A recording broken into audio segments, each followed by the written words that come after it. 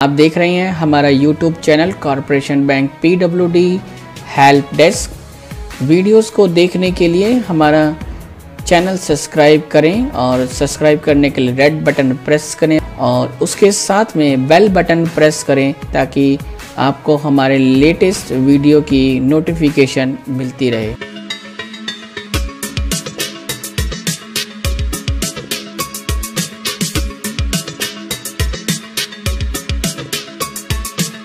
नमस्ते सत श्रीकाल आदाब this is Naresh from Corporation Bank Azadpur branch zonal office north Delhi today we will talk about finacle accessibility how can we work on finacle with jaws so i would uh, assure you that finacle is totally accessible with jaws and you can comfortably work on it if you are using Finacle in your branches और office अगर आप फिनाइकल के साथ काम करना चाहते हैं और आप जॉस यूज़र हैं तो बहुत अच्छा काम करता है जॉस और it's totally different matter that which Finacle version your organisation is using right now in fact our bank using latest Finacle version 10.1 and it's totally accessible with Jos even I am using jaws 16 and if you will use upper version like jaws 17 18 then some other problems or that all problems will be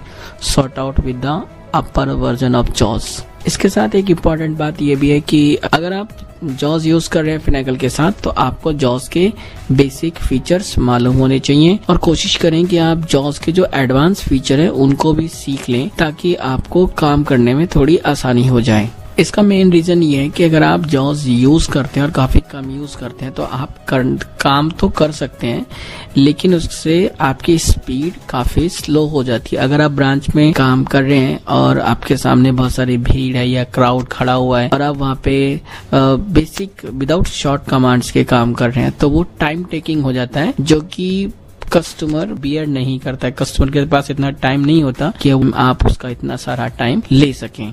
मैं इसलिए ऐसा कह रहा हूँ क्योंकि जब आप branch में काम कर रहे हैं, आप ये समझ के काम कर रहे हैं कि आप जो आपके दूसरे एम्प्लॉय साथी हैं आप उनकी बराबरी करने की कोशिश कर रहे हैं और उनके साथ एग्जैक्टली exactly काम कर रहे हैं। तो कस्टमर जैसे उनके सामने जाता है और जल्दी से अपना काम करा के आता है तो कस्टमर आपसे ये भी उम्मीद करता है कि वो आपके पास आए तो आप भी उसका काम उतनी ही जल्दी से करें। तो अगर आपको शॉर्ट कमांड आएँगी, आपका नेविगेशन बहुत तेज हो जाएगा और आप जल्दी आसानी से काम कर पाएँगे। पिनेकल की बात करें, इससे पहले मैं आपसे इतना रिक्वेस्ट ज़रूर करना चाहूँगा कि आप अपनी ब्रांच या ऑफ़िस में सिर्फ़ ऑथराइज कॉपी ही यूज़ करें जॉस की। क्योंकि अगर आप क्रैक यूज़ करते हैं तो ये आपको नुकसान कर सकता है। जब तक आपके ऊपर कोई एक्शन नहीं है या आपका पीसी डिटेक्ट नहीं होता कि आप क्रैक यूज़ कर रहे हैं, तब तक कोई इश्यू नहीं होता। जो भी आपकी मॉनिटरिंग बॉडी है, वो जब भी आपको डिटेक्ट करते हैं वेब सिस्टम को तो वहाँ पे एक प्रॉब्लम क्रिएट हो सकती है। तो जब भी आप अपने ब्रांच और ऑफ़िस में जॉज यूज़ करें तो उसका ऑथोराइज कॉपी ही यूज़ करना है आपको। अब थोड़ी सी बात फिनेकल की कर लेते हैं। फिनेकल को यूज़ करने के लिए सबसे पहले आपके पास फिनेकल का आईडी और पासवर्ड होना बहुत ज़रूरी है। आपका आईडी और आपका पासवर्ड आपके कंसर्न ऑफिसर जो होंगे, वो आपके लिए क्रिएट करेंगे। यहाँ पे बहुत इम्पोर्टेंट मैटर ये है कि आपका आईडी और पासवर्ड जो है वो बिल्कुल सीक्रेट होता है और आप किसी को भी अपना फिनेकल का आईडी और पासवर्ड नहीं देंगे, चाहे कोई भी माँगता रहे, चाहे आपके सीनियर हो या आपके जूनियर हो, क्योंकि ऐसी, अब ऐसा सर्कुलर भी है। अगर आपने अपना आईडी और पासवर्ड किसी को दिया या किसी ने चुरा लिया और उससे कोई फ्रॉड ट्रांजेक्शन होता है या कुछ भी होता है तो आप भी उसके उतने ही रिस्पॉन्सिबल होंगे जितना कि कोई दूसरा हो सकता है। आज सबसे पहले हम फिनेकल में बैलेंस इंक्वायरी पे बात करेंगे। इसके बाद कुछ और टॉपिक्स पे हम ज़रूर बात करेंगे। अगर आपको इस बीच किसी भी तरह की प्रॉब्लम होती है या कोई समझने में इश्यू होता है तो आप मुझे कांटेक्ट कर सकते हैं। कांटेक्ट डिटेल्स मैं इस वीडियो के एंड में आपको प्रोवाइड करवाऊँगा। इस बात का भी ध्यान रखें कि आपको बैकग्राउंड में थोड़ा सा नॉइस मिल सकता है, क्योंकि ये टोटली ब्रांच एक्सपीरियंस है तो मैंने वो भी कोशिश किया कि आपको ब्रांच में किस तरह का एक्सपीरियंस होता है या नॉइस होता है, वो आपको मिल सकता है तो वो भी आप समझेंगे। तो चलिए हम चलते हैं अपने बैलेंस इंक्वायरी के लिए जिसके लिए सबसे पहले हमें फनेकल में लॉगिन करना बहुत ज़रूरी है। तो चलिए सबसे पहले मैं अपने सिस्टम पे को ऑन करके फ्नैकल पे लॉग लॉगिन करूँगा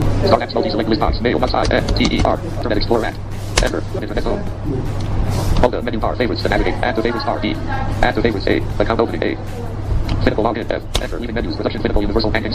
फिनेकल लॉगिन का जो यूआरएल है आप उसको अपने फेवरेट में सेव कर सकते हैं। अब ये देखना है कि जो हमने यू आईडी और पासवर्ड लॉगिन करने के लिए जो फिनेकल का पहला पेज ओपन इस तरह से पेज खोलता है वो आप देख सकते हैं यहाँ पे।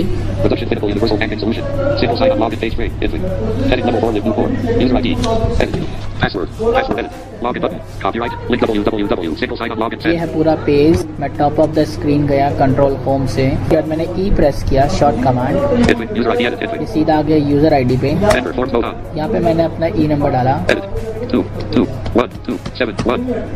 एक बार text. किया पासवर्ड आ गया पासवर्ड पे स्टार स्टार बोलेगा Start. Start. Start. Start. Start. Start.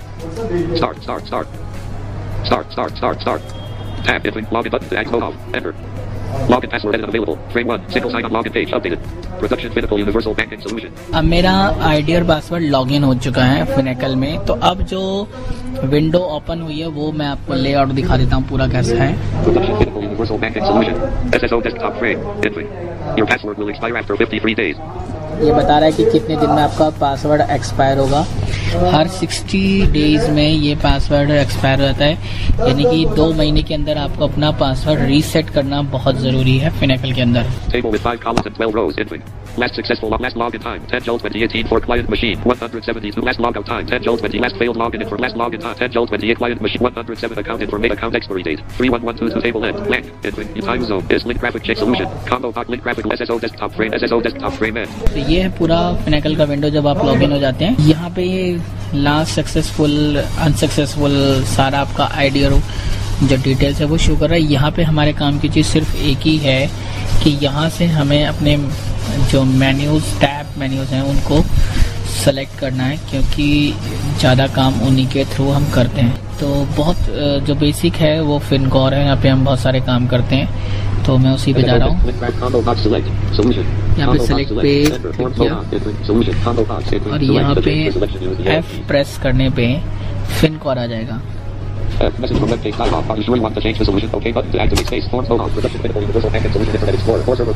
जैसे ही आपने एफ़ प्रेस किया तो उसने पूछा do you really want to change the solution तो मैंने उसको ओके okay कर दिया। उसके बाद वो वहाँ से फिनेकल का मैं और सॉल्यूशन जो है उसे चेंज करेगा। अब आप यहाँ देख सकते हैं कि वो यहाँ पे फिनकॉर दिखाएगा मुझे उसी सिलेक्शन टैब में. फिनकॉर दिखा रहा है यहाँ पे। फिनकॉर में हमारा वो काम जो मैंने आज बैलेंस इंक्वायरी और पासबुक एंट्री का बताया था वो यहीं पे शो होगा सारा। अब हमने सॉल्यूशन अपना चूज़ किया था फिनकोर उसके बाद जब वो ओपन हुआ तो यहाँ पे एक आ गया है शॉर्ट कमांड यहाँ पे मैंने ई e प्रेस किया शॉर्ट एडिट बॉक्स में आने के लिए. अब मुझे जाना है बैलेंस इंक्वायरी चेक करने के लिए. बैलेंस इंक्वायरी में जाना है. तो बैलेंस इंक्वायरी की जो शॉर्ट कमांड है, वो है H A C L I H A C L I L C L I. उसके बाद हमने गो बटन पर प्रेस किया available.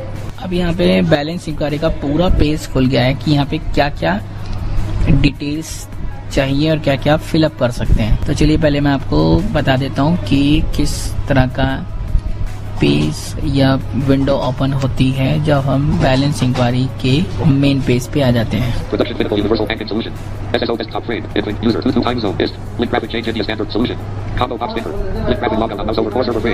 Transaction inquiry. Link menu on mouse over. Link show memo pad on link background menu on mouse over. Link CCY converter on mouse over. 10 July 2018. User 221271761. Menu shortcut. Edit. Go button. Transaction inquiry. Link graphic new pinnacle held. Blank.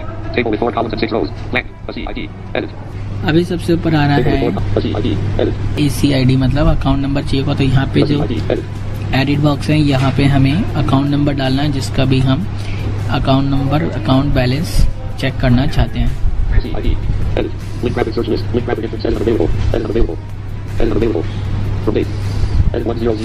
जहाँ पे from date है, वहाँ पे अगर आप अपने मन से कोई डेट डालना चाहें बाय डिफ़ॉल्ट क्या होता है सेम डेट जिस दिन आप बैलेंस चेक कर रहे हैं उसी दिन की बैलेंस इंक्वायरी करता है अगर आप चाहते हैं कि पहले के ट्रांजैक्शन डिटेल्स आपको स्क्रीन पे शो हो आप उनको चेक कर पाए तो यहाँ से आप डेट चेंज कर सकते हैं Link rapid select date from N10072018.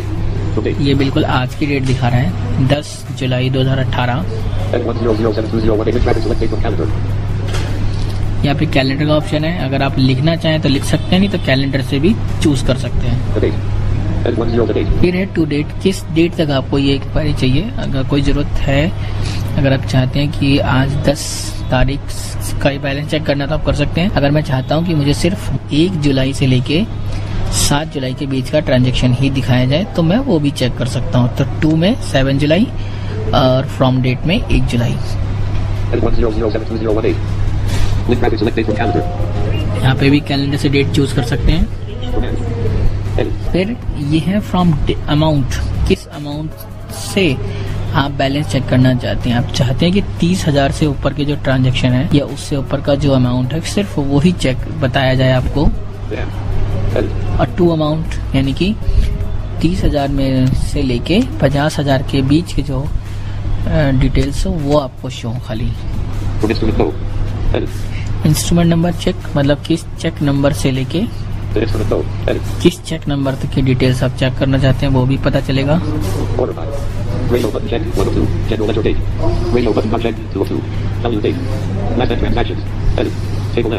Last transaction भी आप चाहें तो लिख सकते हैं कि इस ट्रांजेक्शन डेट तक आप करना चाहते हैं?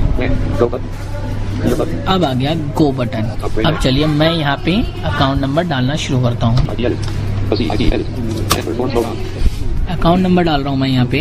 मैं अपना अकाउंट नंबर डालता हूँ.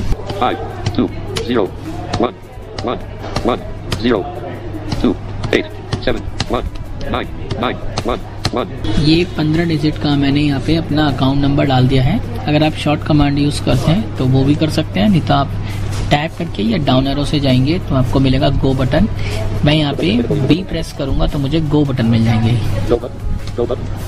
दो गो बटन आ रहे हैं पहला जो है वो आपका मेन्यू वाला है वो आपको यूज़ नहीं करना दूसरा गो आपको यूज़ करना है. अब यहाँ पे मेरे अकाउंट के डिटेल्स वो शो कर रहा है Production Pinnacle Universal Package Solution. SSO test entering. New time zone. Link graphic solution. Combo box thinker. Link graphic log core server transaction inquiry frame. Link menu on mouse over. Link show memo pad on the link background. Link CCY converter on mouse over. 10 July 28 menu shortcut. 10 July 2018 user 221271761. Menu shortcut. Edit. Go button. Transaction inquiry. Link graphic info filled. Blank. Table with 4 columns and 19 rows. A C ID. Account number 520111028719911. CCY sole ID. Sole ID यानी कि branch code आपका INR 1761. A C name. फिर account holder का नाम Narish Kumar Kashyap. Naresh Kumar Kashyap General ledger sub code. 20111. ये code Balance. 54,212.81 CR. Opening balance.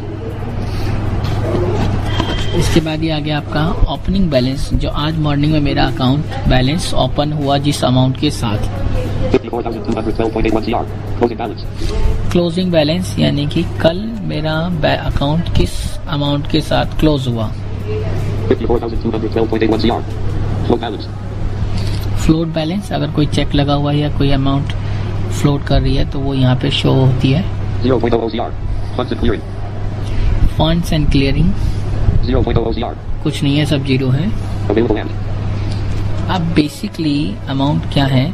जब हम balance check करते हैं तो हमें अवेलेबल और इफ़ेक्टिव बैलेंस चेक करना होता है। क्योंकि जो इफ़ेक्टिव और अवेलेबल बैलेंस होता है उसी बैलेंस अमाउंट को आप यूज़ कर सकते हैं। सपोज़ कीजिए कि आपने कोई चेक डाला हुआ है और वो चेक क्लियरिंग में है। चेक लग चुका है। तो अगर मेरे अकाउंट में 54,000 है और मैंने 24,000 का चेक दिया हुआ है तो ऊपर वाले में जहाँ पे बैलेंस इंक्वायरी सबसे ऊपर जहाँ पे नरेश कुमार नाम आ रहा था उसके नीचे जो बैलेंस आएगा वहाँ पे वो 54,000 शो करेगा अकाउंट बैलेंस लेकिन जहाँ पे अब हूँ मैं इफ़ेक्टिव बैलेंस में अवेलेबल अमाउंट यहाँ पे. वो 30,000 शो करेगा Effective available and.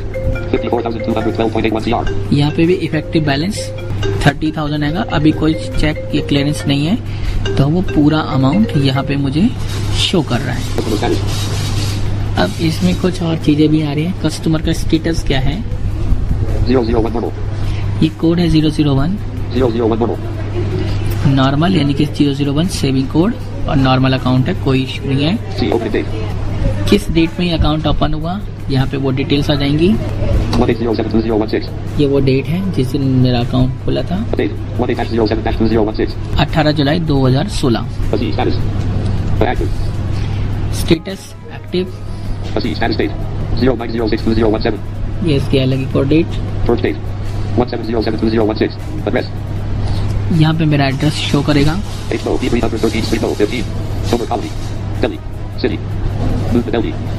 D000 country. In India. Postal code. 110033. Phone type. SMSMB. Telex mode. Phone mode. 9015173846. Email ID type. Awesome. Email ID. Dev. There's gmail.com. Table N.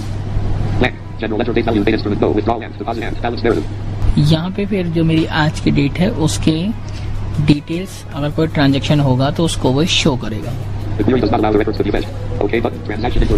अब यहाँ पे कोई भी इंक्वायरी रिकॉर्ड फैच नहीं हो पा रहा है क्योंकि मेरा आज का कोई ट्रांजेक्शन नहीं है और कोई डिटेल्स अवेलेबल नहीं है।